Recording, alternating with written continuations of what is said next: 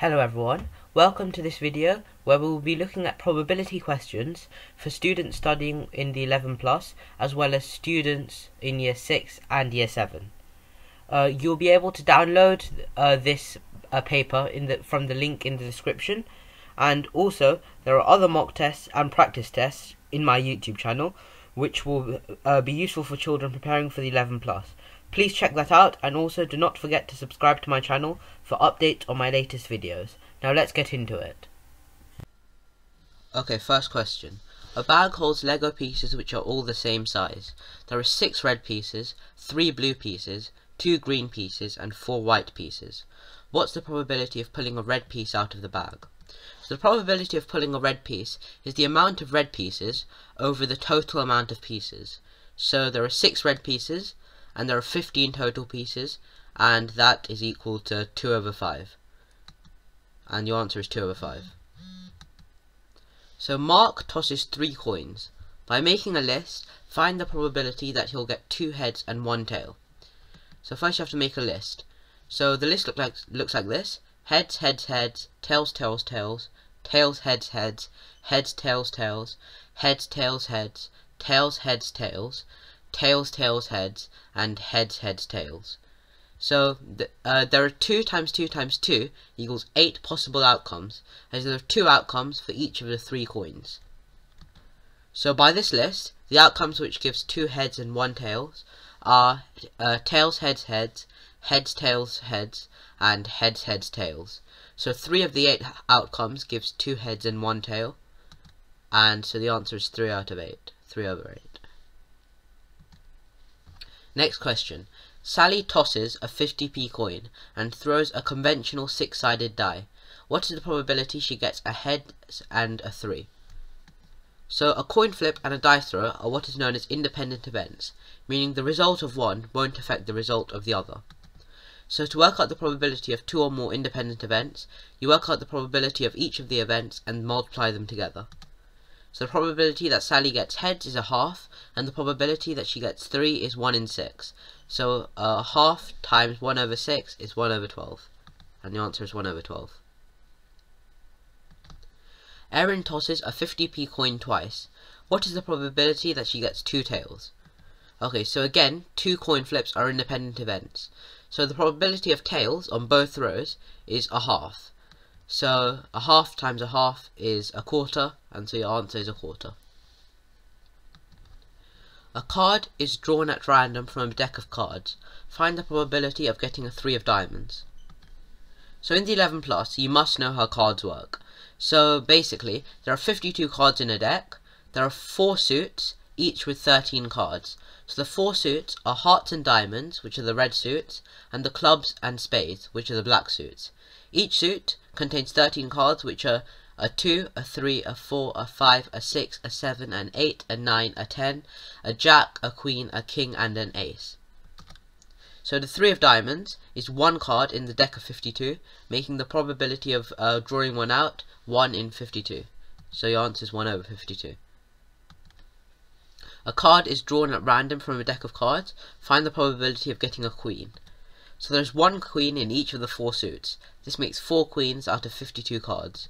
So 4 over 52 is equal to 1 over 13. So your answer is 1 over 13. Next question. Sean has a box of pens. Uh, the box contains 6 blue pens, 8 black pens, and 3 red pens. What is the probability that he will pick a blue pen? So, uh, there are 6 blue pens and 17 total pens. So the answer is 6 over 17. So some more blue pens are now added to the box. The probability of uh, selecting a blue pen is now a half.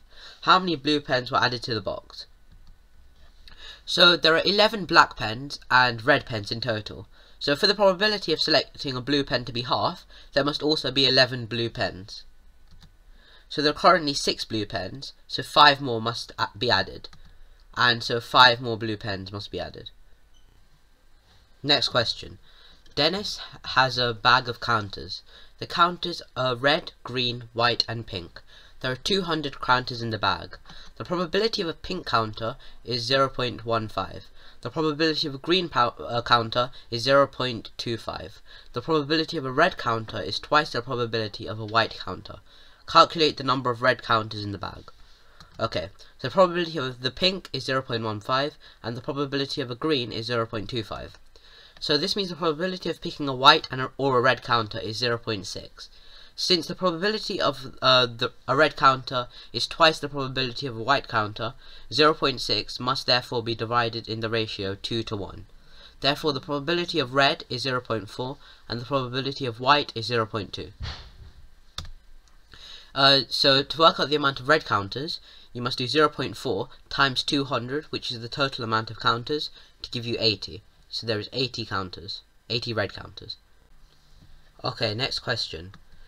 So, uh, a rugby team can win, draw, or lose a match. The table below shows the probabilities of each result. Calculate the missing probability in the table.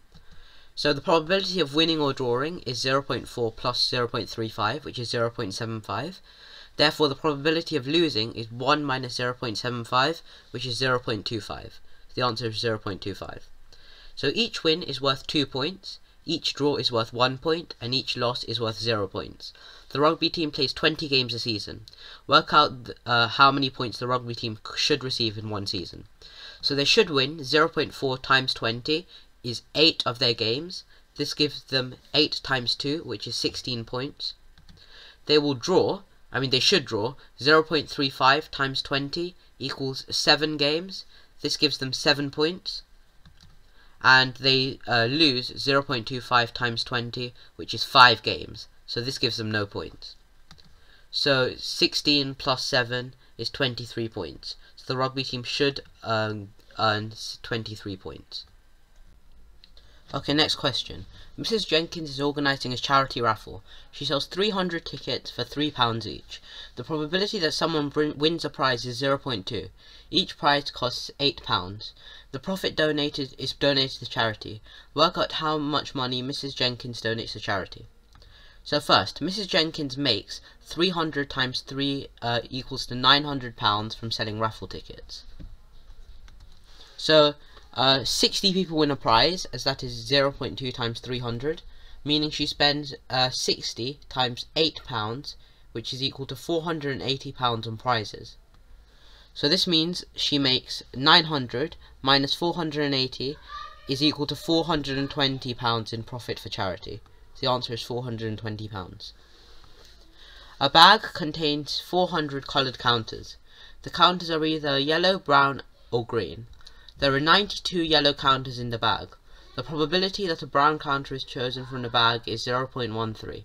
Calculate the number of green counters in the bag. Okay, so there are 92 yellow counters. There are 0.13 times 400, which is equal to 52 brown counters. There are therefore 92 plus 52, which is equal to 144 brown and yellow counters. So, uh, the number of green counters is 400 minus 144, which is 256. So your answer is 256. Two cards are drawn from a standard deck of 52, one after another. So if the first card is a king, and the card is not replaced, what is the probability of selecting a king on the second draw? Okay, so uh, if uh, two card draws where the first card is not replaced are dependent events. This means that the first outcome affects the probability of the second outcome. So, uh, to tell you, show you what I mean, if the first card is a king, there are now three remaining kings and 51 remaining total cards, as you didn't replace the first card. This makes the answer 3 over 51, which is equal to 1 over 17. So the answer is 1 over 17. Okay, next question. Uh, two cards are drawn from a standard deck of 52 cards, one after another. Find the probability of selecting a king from the first draw and a queen on the second draw, without replacing the first card. So the probability of a king first draw is 4 over 52. The probability of a queen on the second draw is 4 over 51, as the first draw was not replaced in the deck. So 4 over 52 times 4 over 51 is equal to 1 over 13 times 4 over 51, which if you uh, do long multiplication is equal to 4 over 663. So your answer is 4 over 663. Okay, two cards are drawn from a standard deck of 52, one after the other. Find the probability of selecting a jack on the first draw and a queen on the second draw after replacing the first card. So the probability of drawing a jack first is 4 over 52, and the probability of drawing a queen on the second draw is also 4 over 52, as the first draw is replaced into the deck. So 4 over 52 times 4 over 52 is equal to 1 over 13 times 1 over 13, giving you an answer of 1 over 169. So your answer is 1 over 169. Next question. A pair of dice are rolled. Find the probability of showing uh, an even number on both dice. So there are three even numbers on a dice, and there are six numbers total. This makes the probability of rolling an even number 3 over 6, which is equal to a half. This means that the probability of rolling two even numbers is a half times a half, which is a quarter. So the answer is a quarter. A pair of dice are rolled. Find the probability of showing prime numbers on both dice. So there are three prime numbers on a dice, which are 2, 3, and 5, and there are six numbers total. You have to remember that 1 is not a prime number. This makes the probability of rolling a prime number uh, 3 over 6, which is uh, equal to a half. So the probability of rolling two prime numbers is a half times a half, which is a quarter. So the answer is a quarter. Okay, final question. A pair of dice are rolled. Find the probability of showing the same numbers on both dice. So there are six possible outcomes for each die, meaning the total number of outcomes for the pair of dice is 6 times 6, which is 36. So out of these 36, only 6 pairs have the same number on both dice. 1 and 1, 2 and 2, 3 and 3, and so on. This makes the probability 6 out of 36, which is 1 over 6. So your answer is 1 over 6. Thank you so much for watching this video, and if it helped you, please drop a like rating down below, and subscribe to the channel. Uh, see you in the next video.